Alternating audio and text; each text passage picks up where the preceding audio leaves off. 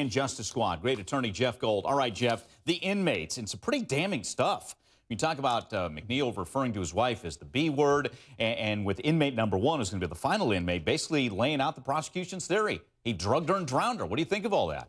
Well, I do think that the testimony itself is very damning, but for the state to put inmates' testimony on as their final, you know, hurrah goes to show the weakness of the state's case, I have to say, because, you know, inmate testimony is a double edged sword. All right, they might have been in a position to get these admissions from the defendant, but on the other hand, they're going to be cross examined about their own crimes, their own offenses. You heard some uh, argument before about what kinds of things can be used to cross examine them, what kind of prior convictions can be used. So it's a double edged sword. It is good, it's what the state needs to do to link up you know, the circumstantial evidence and pin it on the doctor. But at the same time, there's fodder for cross examination. Yeah. And will a jury use the testimony of convicted felons as the linchpin to convict, convict the doctor? We don't know. It is a cliffhanger. Yeah, it really is. And, and you talked about the weakness. Is the strength in bringing the inmates out that you have more than one with a similar theme, whether it be derogatory names about Michelle or that, you know, he also says to a couple of different ones, they can't prove this?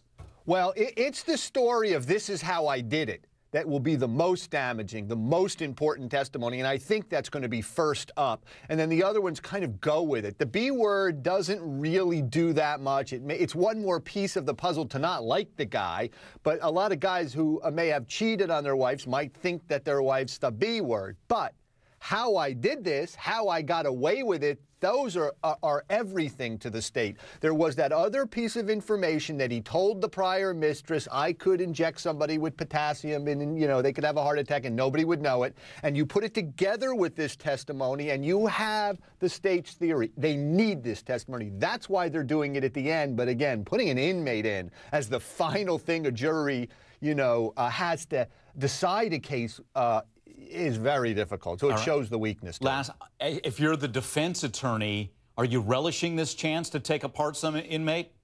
Yes, I mean, you're not relishing the fact that there is an admission, but whenever I look at a witness, I'm saying, well, what can I ask him? What can I cross examine him on? I take a piece of paper, I make some points out.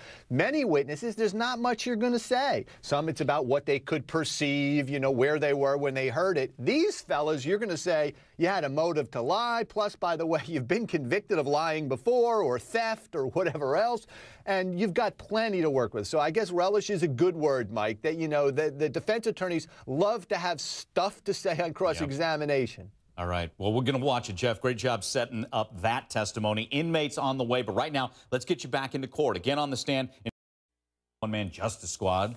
Great criminal defense attorney Jeff Gold. All right, Jeff, before we get to the inmates, that was a pretty good little back and forth at the end there, where the prosecutor gets the hypothetical about uh, could someone, you know, basically be calling and not really giving CPR, giving breaths, chest not rising? If someone tossed the drugs and then told somebody else, oh, the police took them, all would be very suspicious, right? Yeah, but you know, Mike, it, again, it points out the weakness in the state's case. You know, sure, anybody calling on 911 could be lying. I mean, they could be, you know, the sound effects guy from Warner Brothers, you know, cartoons. Anything could happen, you know. But the, the whole idea of, of them grasping for these kind of straws, I mean, yes, of course, it could have been pretend. Uh, I don't know. I mean, what we're waiting for is those snitches' testimony, those jailhouse snitches, because that is what the state really needs. They need to get the words out of the yeah. doctor's mouth that he did this thing. Yeah. So it's not adding, is it not adding up for you, this circumstantial case?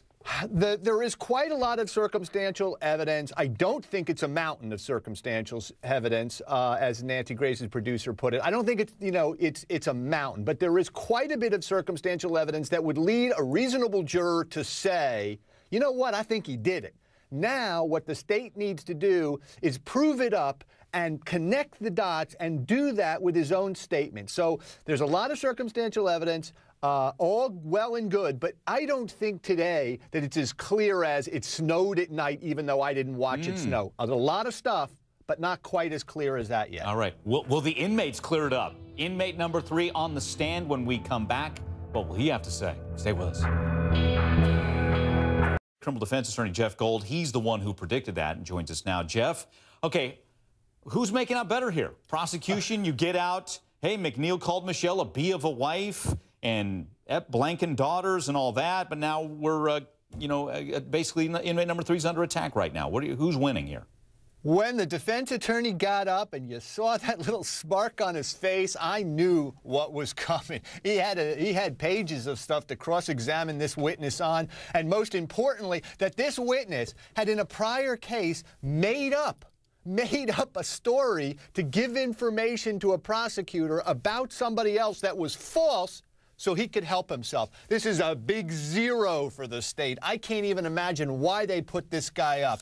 He is nothing. Not only did he not say on cross-examination some of the things he said earlier and how to be, you know, uh, rehabilitated on it, but then he tells this story that says he's a liar. Forget it. No juror is going to put somebody away for life uh, or worse in any state based on this guy's word. I don't know why the state put him up. Yeah, well, and that's interesting. Even when he told the story and basically asked MacNeil, did you kill your wife? And he says, MacNeil says, right. no, man, no. I mean, he follows up with, okay, they didn't have enough evidence, but you got to think that's a wash at best, even that little interplay, it, right? That's just on the direct. And then the cross examination brings up he's made out a story to wrongfully convict somebody in the past to help himself. This is nothing. It hurts the state that it shows how weak they are. Mm.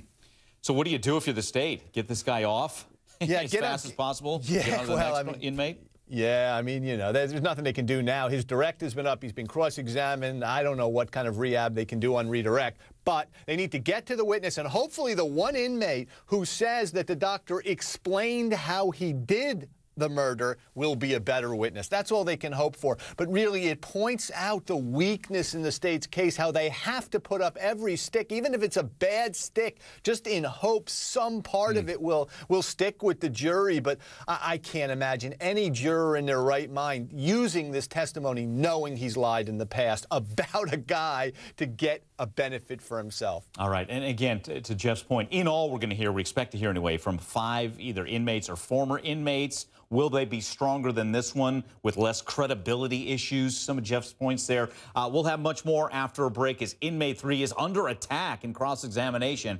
More of that coming up. Stabbed, raped, isolated, things like that.